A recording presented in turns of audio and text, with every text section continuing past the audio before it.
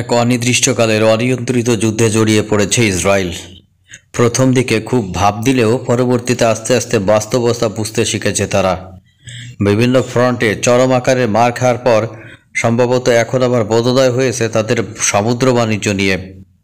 লোহিত সাগর অর্থাৎ Red Sea থেকে শুরু করে এইসব অঞ্চলে বাবেল মানদেবে যে সকল ইসরায়েলগামী জাহাজ রয়েছে, তাতে একের পর এক হামলা চালিয়ে মূলত তাদের নাবিশ্বাস এবং ঘাম ছুটিয়ে দিয়েছে হুতি বিদ্রোহীরা। আর এই সকল বিষয় বিবেচনায় নিয়ে সেখানে অনির্দিষ্টকালের জন্য জাহাজ চলাচল বন্ধ ঘোষণা করেছে আন্তর্জাতিক সম্প্রদায়। আবারও জার্মানির এবং লাইবেরিয়া দুইটি জাহাজে হামলা হয়েছে। হুতিদের তরফ থেকে সিগন্যাল দেওয়ার পর তারা সেই নিষেধাজ্ঞা অমান্য করে জাহাজগুলো সামনের দিকে অর্থাৎ ইসরায়েলের দিকে অগ্রসর হতে থাকলে হুতিরা সেখানে অ্যান্টিসিপ মিসাইলের মাধ্যমে সেই জাহাজগুলোকে ধরাশায়ী করে। মূলত ইরানের নির্দেশে এবং ইরানের তৈরি ক্ষেপণাস্ত্র ব্যবহার করে তারা এই কাজগুলো করছে বলে স্পষ্টভাবে জানানো হয়েছে। ইরান এ ব্যাপারে কিছু স্বীকার এবং অস্বীকার করে না। সুতরাং তাদের সবুজ সংকেতের মাধ্যমেই ইসরায়েলগামী সকল জাহাজকে এখানে টার্গেট করা হচ্ছে। আর একটা ব্যাপার গতকাল জানানো হয়েছে যে একটি ব্রিটিশ যুদ্ধজাহাজ একটি আত্মঘাতী ড্রোনকে যে জাহাজে টার্গেট করা হয়েছিল সেটি শুট ডাউন করেছে। আমার বক্তব্য হলো, সেই কয়েক হাজার মাইল দূর থেকে লোহিত সাগরে ব্রিটিশ এবং আমেরিকান যুদ্ধজাহাজ আসে। তার মানে মুসলিম সম্প্রদায়ের যুদ্ধজাহাজের নেই বললেই চলে। তাদের নৌশক্তিতে আরও এমন পর্যায়ে পৌঁছাতে হবে যে এই সকল জাহাজগুলোর বিকল্প হিসেবে তারা পুরো ভূমধ্য সাগর লোহিত সাগর কৃষ্ণ সাগর এই সকল অঞ্চলগুলোতে তাদের দাপট আরও বৃদ্ধি পায়। তুরস্কের নৌবাহিনী ব্যতীত এমন কোনো নৌবাহিনী ওখানে নাই যারা মূলত এই সকল বাহিনীর বিকল্প হিসেবে কাজ করতে পারে। অর্থাৎ ভবিষ্যতে এই বিষয়ে নজর দিতে হবে মধ্যপ্রাচ্যের মুসলিম দেশগুলোকে। তারা চীন এবং রাশিয়ার মাধ্যমে অত্যাধুনিক প্রযুক্তির জাহাজ নির্মাণ প্রযুক্তি হস্তান্তর করে, বর্তমান বিশ্ব ব্যবস্থায় আরও ক্ষমতাবান হয়ে উঠতে পারে। কারণ আধুনিক বিশ্ব ব্যবস্থায় নতুন করে যুদ্ধজাহাজ নির্মাণের বিষয়টি অত্যন্ত গুরুত্বপূর্ণ।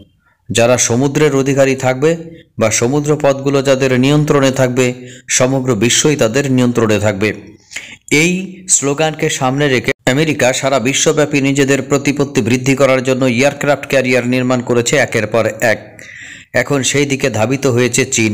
চীন তার নৌবাহিনীর ক্ষমতাকে এতটা বুস্ট করছে যে এখন পেন্টাগনের তরফ থেকে স্বীকার করা হয়েছে চীন হলো পৃথিবীর এক নম্বর নৌশক্তি। পৃথিবীর সবচেয়ে বেশি পরিমাণে যুদ্ধজাহাজ চীন তার বাহিনীতে অন্তর্ভুক্তিকরণের মাধ্যমে সারা বিশ্বের যে সকল নৌশক্তি রয়েছে তাদের মধ্যে এক নম্বর হিসেবে প্রতিষ্ঠিত হয়েছে। দুই হাজার পঁয়ত্রিশ সালের মধ্যে চীন এক্ষেত্রে সরাসরি নেতৃত্ব দেবে। অর্থাৎ এয়ারক্রাফট ক্যারিয়ারের ক্ষেত্রে চীন তখন আমেরিকার সমপর্যায়ে পৌঁছে যাওয়ার সম্ভাবনা রয়েছে। চীন এখন সুপার ক্যারিয়ার নির্মাণ করতে সক্ষম। এই সুপার ক্যারিয়ারের মাধ্যমে সে পরবর্তীতে সাউথ চায়না সি হতে সারা পৃথিবীব্যাপী তার সক্ষমতাকে বুস্ট করবে এবং তার সাথে যুক্ত হয়েছে ক্রুইজার জাহাজ সমৃদ্ধ ক্ষমতাশালী আরেকটি নৌবাহিনী, অবশ্যই রাশিয়া। বন্ধুরা, রাশিয়ার নৌ যুদ্ধ জাহাজগুলো অন্তত এয়ারক্রাফট ক্যারিয়ার ভিত্তিক না হয়ে সেগুলো এয়ারক্রাফট ক্যারিয়ার ডিটারেন্সে কাজ করে থাকে। তাদের এক একটি ক্রুইজার কয়েকটি এয়ারক্রাফট ক্যারিয়ারকে কয়েক মিনিটের মধ্যেই সাগরে ডুবিয়ে দিতে সক্ষম। এর বাইরে চীনের কাছে রয়েছে চার থেকে পাঁচ হাজার কিলোমিটার দূরে আঘাত এনে এই সকল এয়ারক্রাফট ক্যারিয়ারকে পানির মধ্যে ডুবিয়ে দেওয়ার সক্ষম ক্ষেপণাস্ত্র। সুতরাং আস্তে আস্তে আমেরিকার এই সকল এয়ারক্রাফট ক্যারিয়ারগুলোর প্রকৃত সক্ষমতা কমে যাচ্ছে। শুধুমাত্র চীন এবং রাশিয়ার কাছে থাকা অত্যাধুনিক প্রযুক্তির অ্যান্টিসিপ মিসাইলের মাধ্যমে। যাই হোক নৌবাহিনী শক্তি বৃদ্ধির মাধ্যমে আমেরিকাকে মধ্যপ্রাচ্য থেকে সিটকে ফেলা দেওয়া যায়। অথবা চীনের মতো শক্তিকে এখানে আমন্ত্রণ জানিয়ে এখানে নতুন ধরনের একটি নৌঘাঁটি বা কয়েকটি নৌঘাঁটি স্থাপনের মাধ্যমে পরবর্তীতে আমেরিকার প্রতিদ্বন্দ্বী হিসেবে আস্তে আস্তে চীন হয়তো সারা বিশ্বে জায়গা করে নেবে। সেই দিন হয়তো বেশি দূরে নয়। চীন এখন সরাসরি প্রতিদ্বন্দ্বিতায় যাইতে চাচ্ছে না, শুধুমাত্র সাউথ চায়না সি এবং তাইওয়ান প্রণালী ব্যতীত। কারণ বর্তমানে তার অগ্রাধিকার ভিত্তিক প্রকল্পগুলোর মধ্যে অন্যতম হল নতুন নতুন এয়ারক্রাফট ক্যারিয়ার নির্মাণ। আর সেক্ষেত্রে অর্থনৈতিক এবং রাজনৈতিক স্থিতিশীলতা তার অত্যন্ত গুরুত্বপূর্ণ। যখন এইগুলো নির্মাণ কাজ শেষ হবে, পরবর্তীতে তারা এটি অত্যন্ত গুরুত্বের সাথে গ্রহণ করবে ন্যাটো এবং ইউক্রেনকে সহায়তা করার জন্য। ইতিমধ্যে আরেকটি ব্যাপার ঘোষণা আকারে এসেছে সম্ভবত। সম্ভবত এই দুই সালের মধ্যেই পুরো ইউক্রেনকে একটা পর্যায়ে কবজা করার পরিকল্পনা করেছেন মিস্টার ভ্লাদিমির পুতিন। যেহেতু ইউক্রেনের সাথে পশ্চিমাদের যে সকল নেগোসিয়েশন ছিল, আস্তে আস্তে সেগুলো শেষ হয়ে যাচ্ছে এবং মিস্টার ভ্লাদিমির পুতিন খুব ভালোভাবে বুঝতে পেরেছেন যে পশ্চিমাদের দম শেষ। মিস্টার ভ্লাদিমির পুতিন এখন পশ্চিমাদের দম বের করে দেওয়ার পর সম্ভবত এখন ইসরায়েলের দম শেষ করার ব্যাপারে তার পরবর্তী প্রতিক্রিয়া প্রতিষ্ঠিত করেছেন।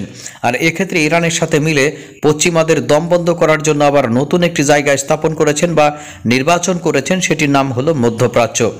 চীন এবং রাশিয়া একত্রিত হয়ে মধ্যপ্রাচ্য আমেরিকাকে হটানোর জন্য যা যা করা প্রয়োজন, তাই করবে।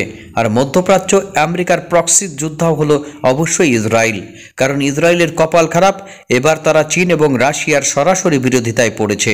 এতদিন পর্যন্ত তারা এমনভাবে বিরোধিতা করত অথবা তারা ইসরায়েলের বিপক্ষে কোনো কাজ করতো না। ইসরায়েলের ক্ষতি হয় বৃহতাকারের এমন কোনো বিষয়ে তারা চুক্তি করতো না। কিন্তু বর্তমানে তারা সরাসরি ইসরায়েলের প্রতিদ্বন্দ্বী রূপে আবির্ভূত হয়েছে। কারণ জাতিসংঘে একেবারে স্পষ্ট ব্যবধান এবং সরাসরি চীন এবং রাশিয়া ইসরায়েলের বিপক্ষে ভেটো দিয়েছে। সুতরাং কোন পর্যায়ের বিরোধিতা তৈরি হলে একটি স্থায়ী সদস্য হিসেবে তারা ভেটো ক্ষমতা প্রয়োগ করতে পারে, আপনারা হয়তো বুঝতে পেরেছেন। মধ্যপ্রাচ্যের মুসলিম দেশগুলো যে সকল ভূমিকা পালন করতে ব্যর্থ হয়েছে চীন এবং রাশিয়া জাতিসংঘে তার চেয়েও অধিক ভূমিকা বা কার্যকরী ভূমিকা রেখেছে ফিলিস্তিনিদের পক্ষে। সুতরাং প্যালেস্টাইনদের পক্ষে তাদের এই ভূমিকাকে সম্ভবত ইরান আরও সামনের দিকে এগিয়ে নিয়ে যাওয়ার চেষ্টা করবে। কারণ ইরান নিজস্ব সামরিক সক্ষমতা যত বাড়াবে, আস্তে আস্তে ইসরায়েল এবং আমেরিকার বিরোধিতায় তত বৃদ্ধি পাবে। ইরানের নিজস্ব কনভেনশনাল সামরিক সমরাষ্ট্রের সক্ষমতা বৃদ্ধির সাথে সাথে রাশিয়া এবং চীনের সাথে তাদের যে সকল কৌশলগত সম্পর্ক রয়েছে, বিশেষ করে পরবর্তীতে তারা ক্রুজ মিসাইল এবং তারা যুদ্ধবিমান থেকে শুরু করে অন্যান্য যে সকল ব্যালিস্টিক মিসাইল প্রকল্পগুলো রয়েছে, সেখানে তারা হাত দেবে। দূরপাল্লার এমএলআর সিস্টেম থেকে শুরু করে আরও যে সকল কৌশলগত পরমাণু অস্ত্র ভিত্তিক যে ব্যবস্থাপনাগুলো রয়েছে, যেগুলো মূলত যুদ্ধবিমান থেকে ছোড়া যায়, এইগুলোর দিকে হয়তো তারা পরবর্তীতে চুক্তি স্বাক্ষর করতে পারে। মূলত ইরানের টার্গেট হলো এখন সু থার্টি ফাইভ যুদ্ধবিমানকে যত দ্রুত সম্ভব নিজেদের মতো ইনস্টলেশন করা, আর তার সাথে নিজেদের পারমাণবিক ওয়ারহেডের সংখ্যা আরও বেশি পরিমাণে বৃদ্ধি করা, যদিও তারা এখনও পর্যন্ত নিজেদের পারমাণবিক অস্ত্রের কথা স্বীকার করেনি। বন্ধুরা, তাদের এই অস্ত্রের চালানগুলো সম্ভবত হামাসের কাছে পৌঁছে দেওয়ার জন্য তারা দুর্দান্তভাবে সিরিয়া এবং লেবানন দিয়ে কাজ করবে। ইসরায়েল সেটি বরদাস্ত করতে চায় না। এই জন্য ইসরায়েলি প্রধানমন্ত্রী কয়েকটি দেশের সাথে যুদ্ধ বাঁধিয়ে দিয়েছেন। মূলত এটি তার পতনের শুরু বলে মনে করা হচ্ছে।